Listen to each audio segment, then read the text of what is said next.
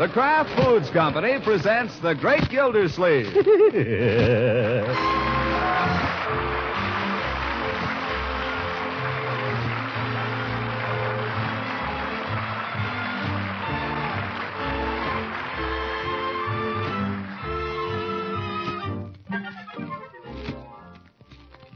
The Great Gildersleeve, starring Harold Peary, brought to you by the Kraft Foods Company, makers of a complete line of famous quality food products.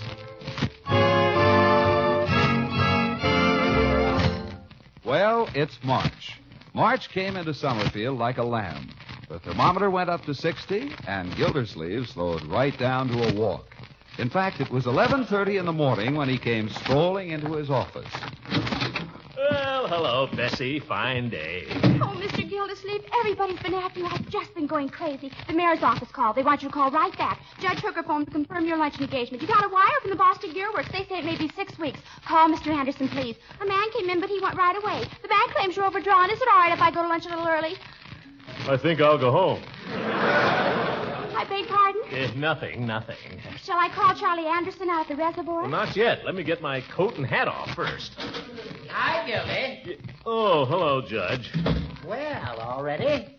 Let's go then. Go, go where? Why to lunch? Lunch. I just this minute got here. I can't help that. We had an engagement for lunch. If you choose to come sauntering in here at eleven thirty, I did not saunter. I've been rushing ever since I got up. I had a lot of things to do, that's all. Anyway, who wants to eat lunch at 11.30? Well, I thought we might try the Rambler Rose tea room. You... You know how crowded it gets. But if we start now. Why go there, for heaven's sake? It's full of women. Oh, but they have such delicious bran muffins.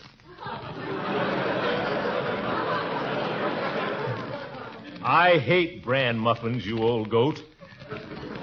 And I'm not going to any tea room. They have butterscotch pecan pie, Gildy. I hate butter. Are you sure?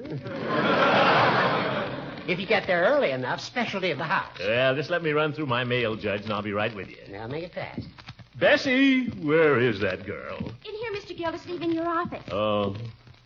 Open up a window or something, Bessie. It smells like yesterday in here. Yes, sir. Well, what's in the mail this morning? Just letters. Just letters. Oh, well. I know, but is there anything important? Anything requiring my immediate attention? Well, there's a letter from someone named McGregor. He's coming to see you. Someone named McGregor. It's a state water inspector. What does he want? Let's see. Throckmorton P. Gildersleeve, Esquire, Department of Water, City Hall, Summerfield. Dear sir. Gildy, the bran muffins are always gone by 12 o'clock. Will you forget your bran muffins? This may be important, Judge. I've had some nasty correspondence with this guy. I think he's laying for me. Well, hurry up. Let's see. Dear sir, this is to inform you that I shall arrive in your town Friday afternoon at 545 on a routine tour of inspection. Routine. Ha! He isn't fooling me. Your cooperation in facilitating a thorough inspection of your plant and facilities mm-hmm. and all books and records pertaining thereto will be appreciated. Very truly, T.P. McGregor, State Inspector of Public Water Supply. Well, shall we go? I don't think I'll be eating any lunch today, Horace, or any dinner either.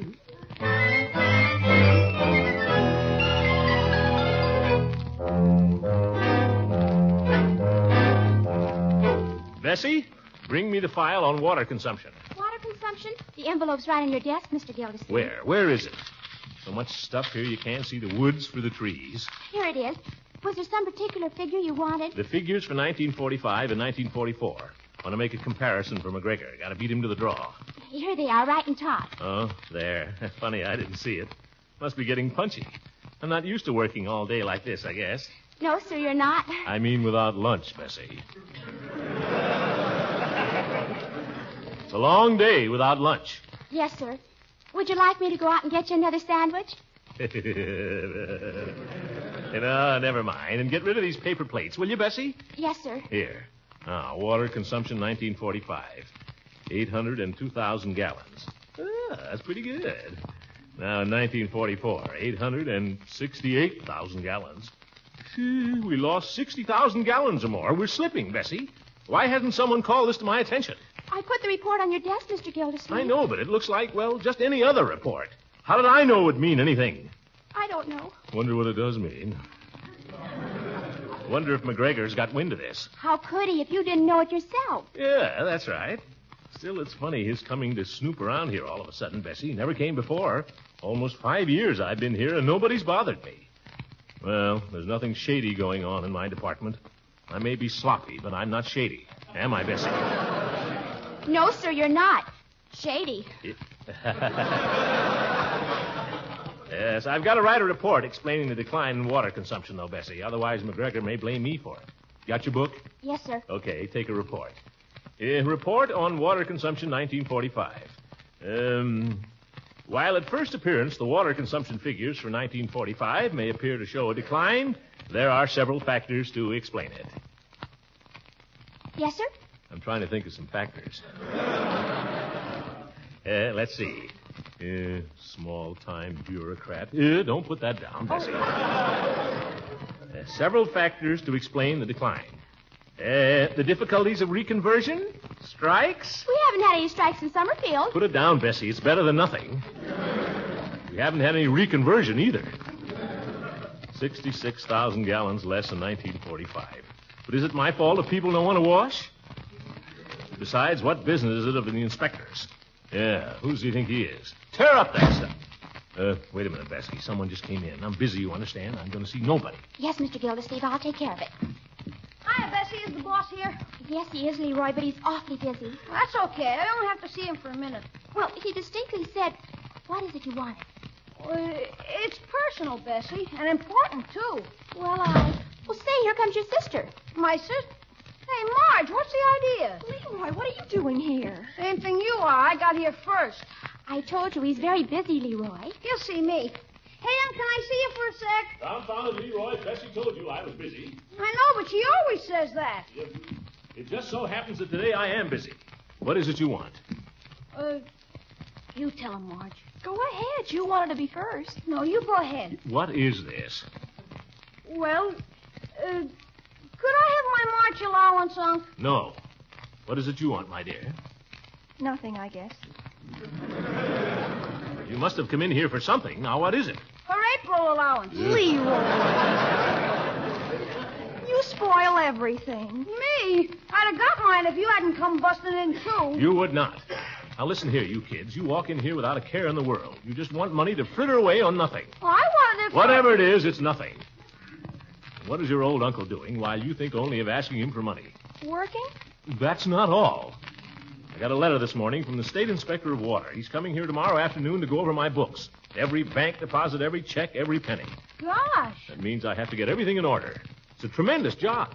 Why, I haven't left my desk today, not even for lunch. Oh, gee, Unky, that's terrible. I wouldn't have bothered you if I'd known. No, neither would I. So just try to remember that your old uncle is carrying a big load on his shoulders. I'm sorry if we disturbed you, Unky. Yeah, same here. Is there anything I could do to help? Is there anything I could do? Uh, no, no, thank you, children. Just run along.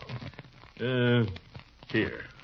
Here's a dollar apiece to get you through the afternoon. Oh, thank you, Unky. Thanks, Unc. You're super.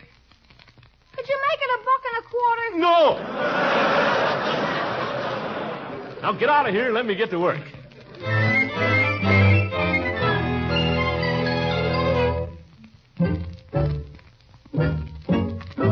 Well, Bessie, let's forget 1945. That's water over the dam. How are we doing in 1946? In what respect? The first quarter. How much money did we bill in January, February, and March? The March bills haven't gone out yet. Haven't gone out. Ye gods, Bessie. Why not? I told you, the meter reader had the flu. That's no excuse, Bessie. Confound it, we've got to have some system around here. If I. Somebody just came in, Bessie. Tell him I'm busy. Yes, sir. And this time I mean it. Yes, sir. Where's Gildersleeve? Where's the chick that runs this office? Where is everybody? Uh, Uncle Charlie, Bessie, shut the door here. Tell him I can't possibly see him now. Yes, sir, I'll tell him. Oh, well, there you are. Where's the fat boy? Are you referring to Mr. Gildersleeve? You know who I'm referring to, chick? Is he still out to lunch or is he taking a snooze?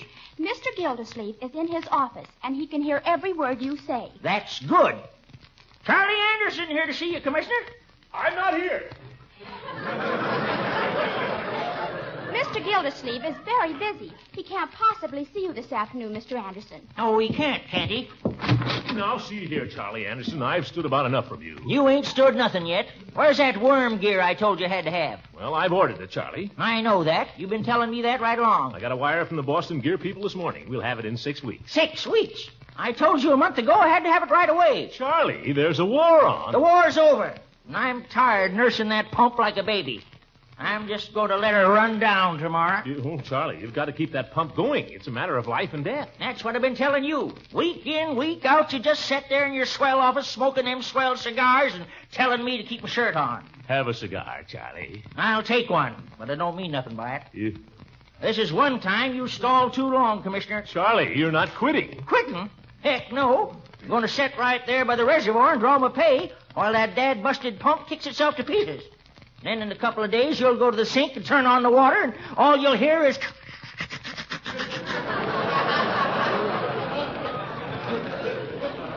Charlie, I'll telephone the gear people. I'll come out and help you with my own hands. yeah, I'll be out there waiting for you. But don't forget to bring your overalls. I don't know, Bessie. Looks like I'm cornered. but we mustn't be downhearted. Chin up, Bessie. Remember, the night is always darkest just before the dawn. I wonder if there's anything in that.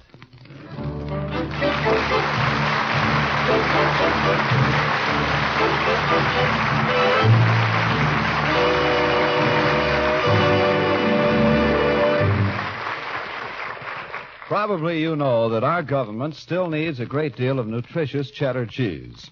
But you can get Kraft's famous cheese food, Velveeta, with the wonderfully rich yet mild cheddar cheese flavor. There's the thing to satisfy the cheese lovers at your house. Spread or slice golden Velveeta for snacks and sandwiches. See how perfectly Velveeta melts for hot dishes. With Lent beginning so soon, remember the easy recipe for Velveeta sauce.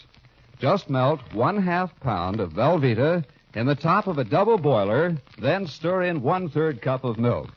There's a gloriously rich, smooth cheese sauce that's delicious on fish or eggs. And nutritious, too. For Velveeta helps supply high quality, complete protein, milk minerals, food energy, riboflavin, and vitamin A. In the food stores these days, keep your eyes open for the delicious cheese food of Kraft quality. The yellow packages of the genuine are always plainly marked Velveeta.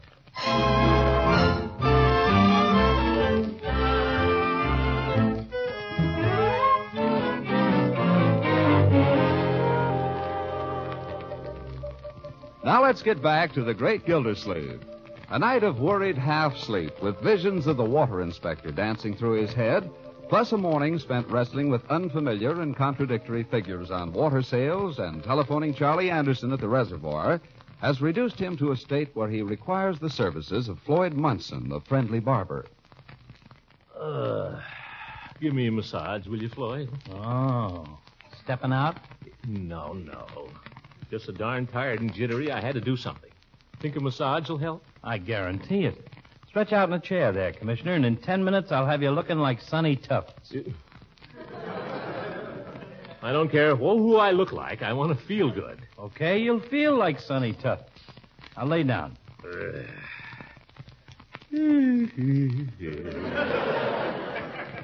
How come you're so knocked out, Commissioner? Don't seem like you to work yourself so hard. I work just as hard as anybody in this town, Floyd. Only kidding, Mr. Gildersleeve. Just the same, when you're tired, it's news. Yeah. Been going crazy the last 24 hours. That's why I'm tired. The state water inspector's coming in 6 o'clock this evening to give my place the once over. Oh, a little shortage in the cash drawer? Floyd, Only kidding. Gosh, this thing's got you kind of edgy. ordinarily I'd welcome it. I've got as well run a department as there is in this state. Right now, my meter reader's got the flu, my secretary can't add two and two, and my chief engineer's on a sit down strike for a worm gear. You don't say. Yeah, so this inspector's liable to turn in a bad report and make trouble for me. Yeah, I guess he could at that. Well, get this hot towel on your kisser and you'll feel better right off. There. Oh.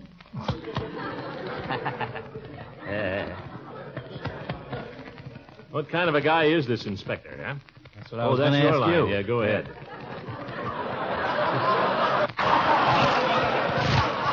Try it again?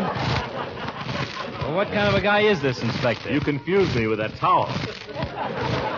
He's a small time bureaucrat, I suppose. I never saw the fellow.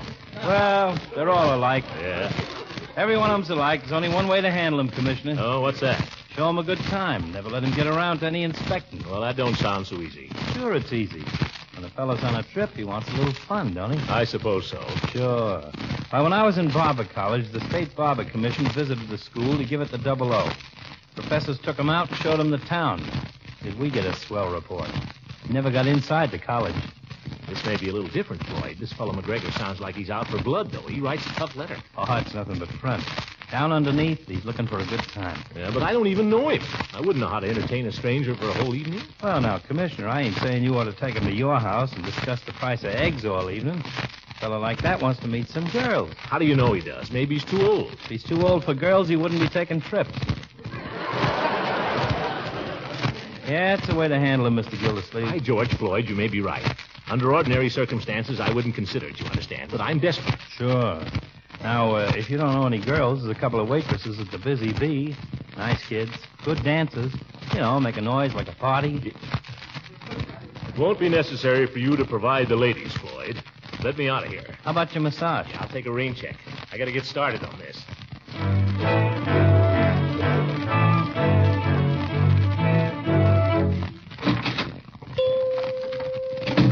Yeah, hello, Mr. Gildersleeve.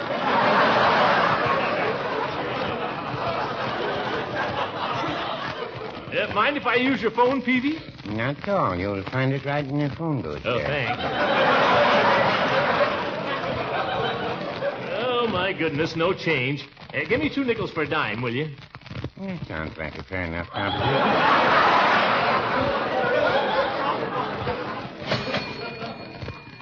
uh, thinking of calling up somebody, are you? Oh, no, I was planning to wash out my socks in there. What do people usually do in telephone booths? I sometimes wonder.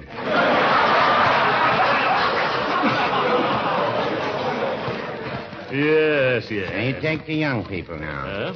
They seem to come in just to carve their initials and dispose of their chewing gum. And other people, Look, they... Peavy, I'm in a hurry. Never mind what they do in phone booths. Well, you are. Never mind, I'm in a hurry. It's all the same to you, I'd like to make a phone call. Well, go ahead, man. Make it. Well, give me my nickels. Didn't... Mr. Gildersleeve, I beg your pardon. I took your dime and I didn't give you your nickels. Now, that just goes to show how you can get your mind on something and then... You did give me the dime, didn't you? Certainly I gave you the dime. That's what I thought. Yeah. There you are. Thank you very much and call again. Hope she hasn't left the house, that's all. How do you close the door on this darn booth? Oh, you needn't close it, Mr. Gildersleeve. That is, unless you want to. Well, I want to. Well, perhaps I can help you. I only suggested leaving it open because some of our customers find that the booth tends to steam up on an extended phone call. You want me to leave it open so you can hear what I've got to say. Well, no, I wouldn't say that. Well, then help me close it. Are you in? I'm in. Yeah, Easy does it. There.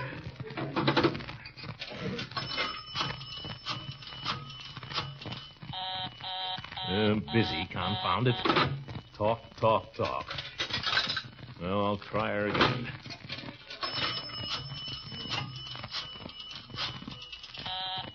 Go nuts, I'll go over there.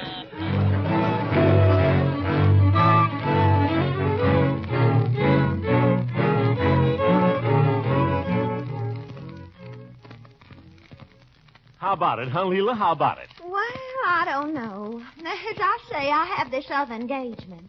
Uh, what kind of a party was it going to be, Throckmorton?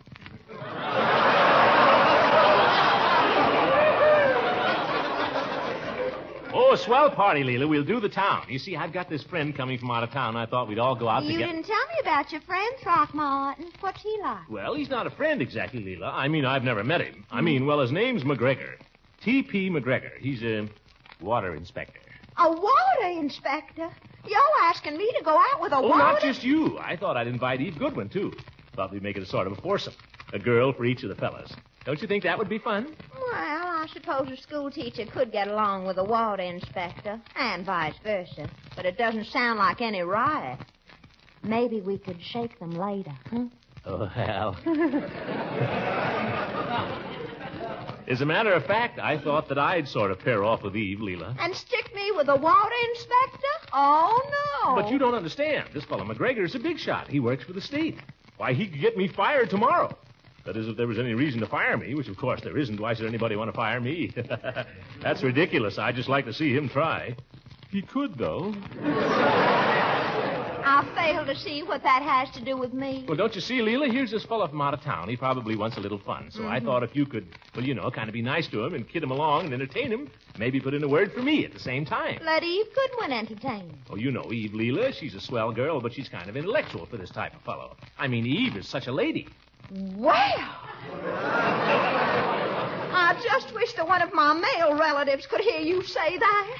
Well, you know what I mean, Leila. God. Mr. Gildersleeve, I don't know what kind of brawl you're planning, but you may plan it without me. Leila, don't be like that. I am not giving up a lecture by Burton Holmes for a wrestling match with a water inspector. Yum. Now, what do I do? Try Eve? If I can't get Leila, what chance do I stand with Eve? You said it. None. Well, Gildersleeve, I guess there's nothing to do now but go back to the office and face the music. It's too late now, boy. Too late now. No use trying to cover up. Just face the music, that's all. You made your bed. Now lie in it.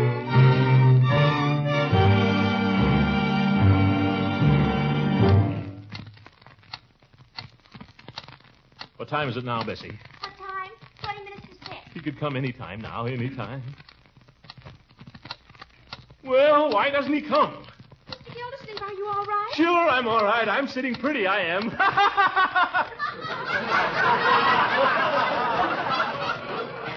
Equipment breaking down, organization falling to pieces, people threatening to resign, and your best friends won't even give you a hand. Maybe you should take an aspirin. All I asked her to do was be a little nice to him. Now, Floyd, he isn't a particular friend of mine, but at least he offered to help, even offered to arrange a party. Hey, say, Bessie. Yes, sir. Bessie, get me Floyd Munson on the telephone. Quickly, get me Floyd Munson. Floyd? The barber shop. Here, I'll get it myself. Now, close my door, Bessie. If Mr. McGregor arrives, ask him to wait out there just one minute. Barbershop. Uh, Floyd? Yeah. Gildersleeve. Say, about those girls you mentioned, Floyd, the ones that work at the sandwich shop, I thought I'd be hearing from you, Commish. What about them? you think you could line them up for this evening? I know it's kind of short notice. No such a thing as short notice with them girls. They're ready for fun at the drop of a hat. Well, my friend McGregor won't be here, well, uh, well, for a minute at least, and I'd kind of like to, you know, kind of get things started right away. And since the Busy Bee is right across Commissioner, you just sit tight there, and I'll have the girls over to your office in five minutes. If they ain't doing something else. Uh, they're not doing something else. Oh, but there's sure to be girls as popular as that. Why get your hopes up? Gosh, I should have told them to call me back. Now I don't know where I stand. Uh, this is my last hope. My last hope. If this fails, I fail. Ten minutes to six. He must have been late, thank goodness. Why doesn't Floyd call? Why doesn't he? Yoink! Hello, Floyd? Yeah, Commish. Mr. Gildersleeve, Mr. Gildersleeve. Just a second, Floyd. Bessie, I'm on the telephone. I know, I know. Tell the inspector I'll be right out. Now close the door. Mr. Gildersleeve says that... Hello, Floyd. What's a good word? It's all set, Commissioner. The girls are on the way over. They should be there any minute. Gosh, Floyd, I don't know how I can ever thank you. That's okay. Don't thank me. Thank the girls. I think you're going to like these girls, Commissioner. A lot of fun. The big blonde does imitations if you coax her right. The little dark one's pretty good on the banjo. Well, thanks a million, Floyd. Thanks a million. Uh, saved by the bell. I only hope the inspector brought his banjo. Will we show him a time? Well, mustn't keep him waiting. Load up with a few cigars here first. Well, Bessie, where's the Are inspe- you Mr. Gildersleeve? Yeah, but I can't see you now, lady. I'm very busy. Bessie, I thought you said Inspector McGregor was here. I am Inspector McGregor. Yes, I. You're. You mean you're T.P. McGuh, McGuh, McGuh? Teresa McGregor, yes. what do you know about that? Gee. Well, shall we get down to business? Oh, by all means, yes, indeed. We always work late here. Yes, indeed. Oh, the girls. Bessie, lock that door. Lock it. Oh! That's all, brother.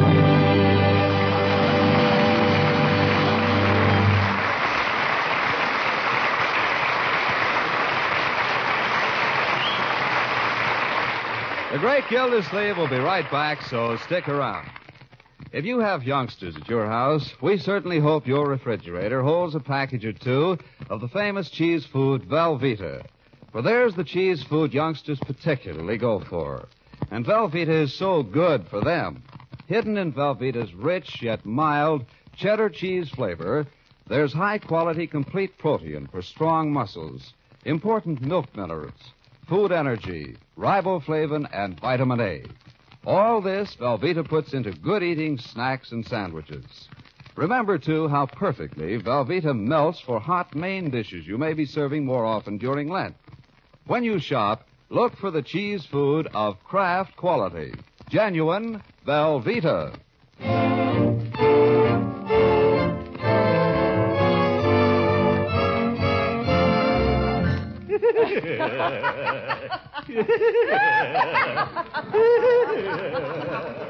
Oh, dear. You know, Mr. Gildersleeve, you're really outrageous. yeah, yeah, yeah, yeah. Oh, I don't know when I've laughed so hard. Yeah, me too. Have another bran muffin, Inspector. Oh, no, I really shouldn't. They are delicious, though. Uh, waitress, some more of these bran muffins for Miss McGregor. It is Miss, isn't it? No, unfortunately, Mrs. Oh, yeah. But my husband passed on some years ago. Oh, I'm so sorry to hear that. I've tried to fill his shoes. Been difficult at times. Yeah, tremendous load for a woman. Uh, may I say that I admire you for it? Thank you. And may I say that I found this dinner most enjoyable? These inspection trips are usually so dull. Yes. I uh, suppose we'll have to be getting back to the office. Yes, I suppose so.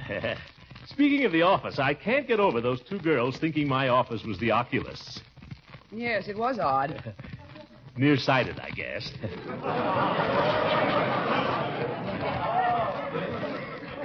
Say, I was just thinking. What? Eh, no, no, I don't guess so. What? Well, no. Oh, come on. well, how would you like to go to a Burton Holmes lecture? Why not? After all, this inspection is purely routine. Of course. We can clean it up in five minutes tomorrow morning. Sure. well, better get started. Let me get your wrap, Inspector. Good night, folks. Don't worry about me.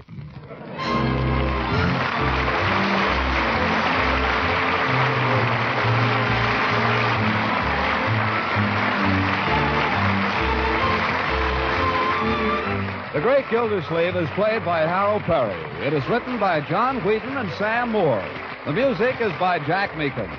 Leroy and Marjorie are played by Walter Tetley and Louise Erickson. Leila Ransom is Shirley Mitchell, and Judge Hooker and Mr. Peavy are Earl Ross and Richard LeGrand. This is John Laing speaking for the Kraft Foods Company and inviting you to listen in again next week for the further adventures of the Great Gildersleeve.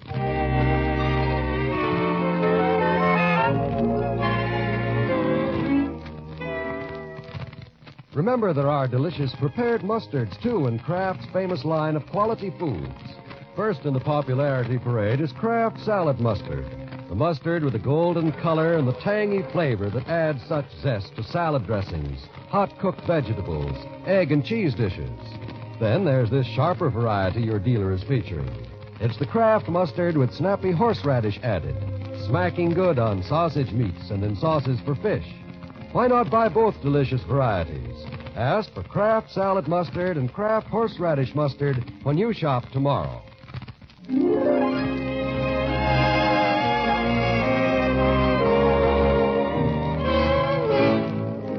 This is NBC, the national broadcasting company.